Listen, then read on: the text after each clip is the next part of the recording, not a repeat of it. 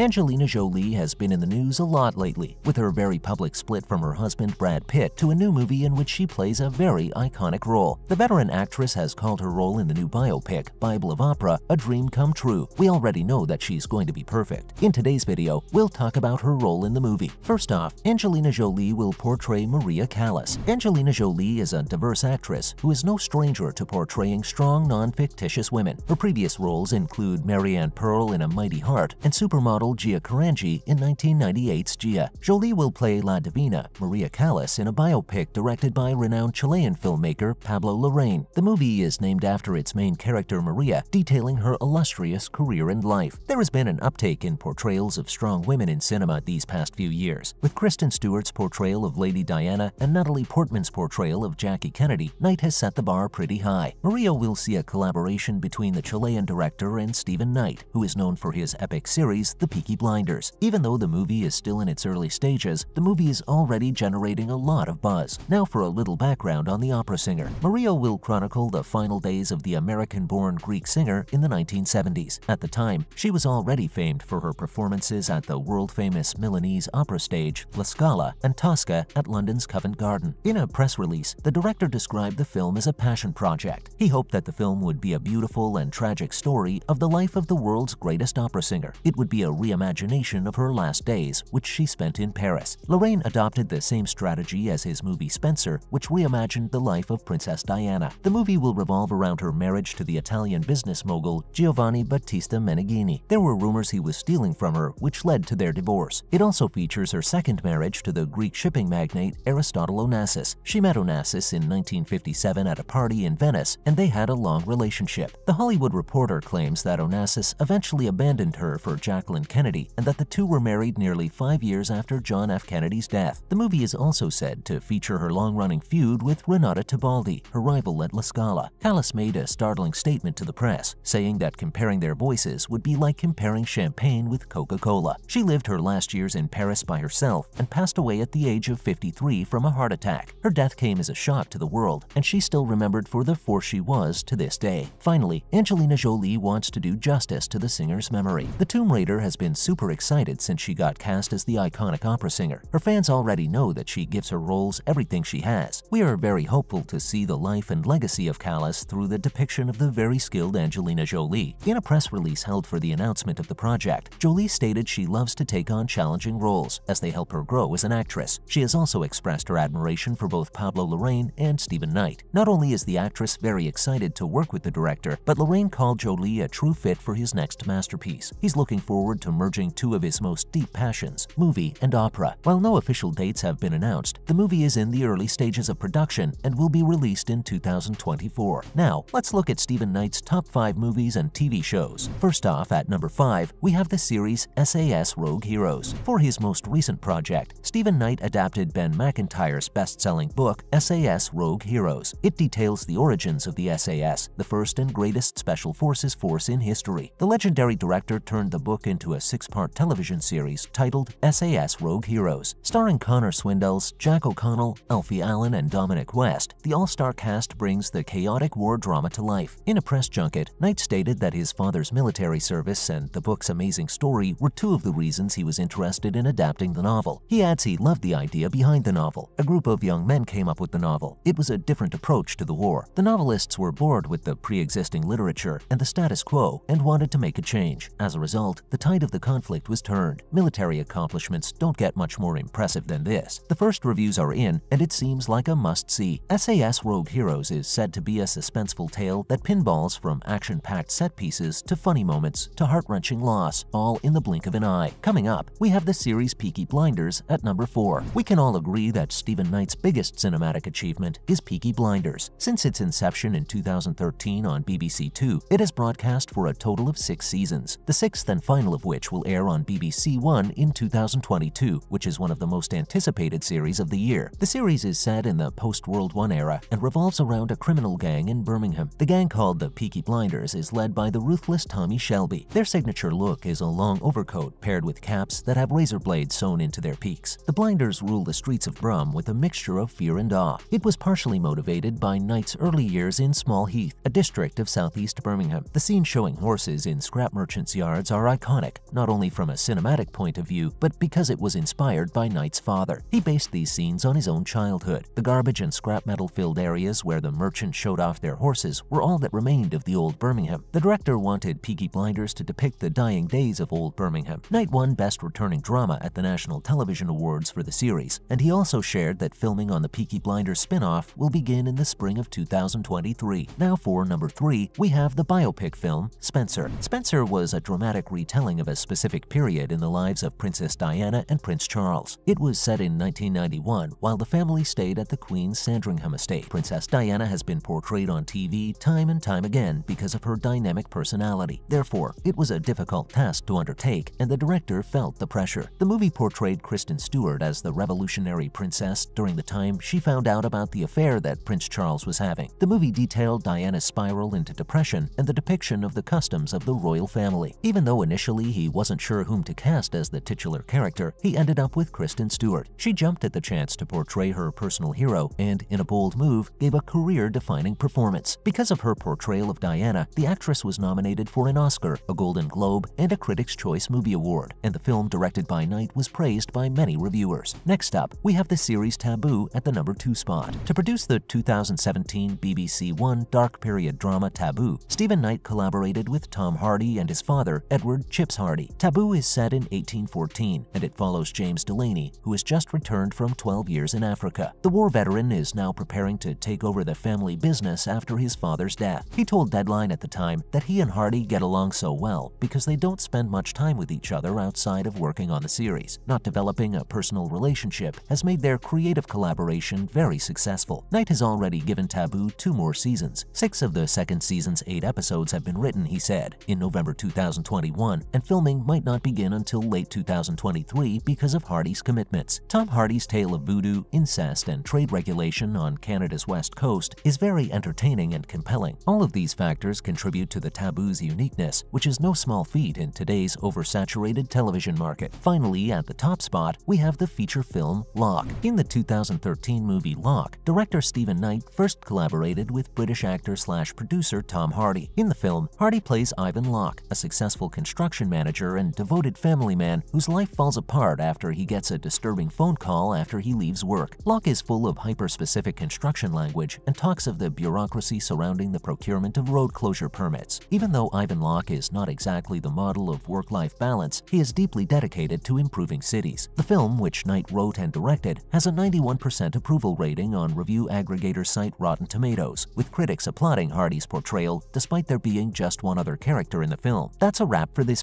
Do you want to know more about the Bible of Opera? Let us know in the comments below. Make sure to give this video a thumbs up and subscribe to our channel for more videos like this. See you at the next one.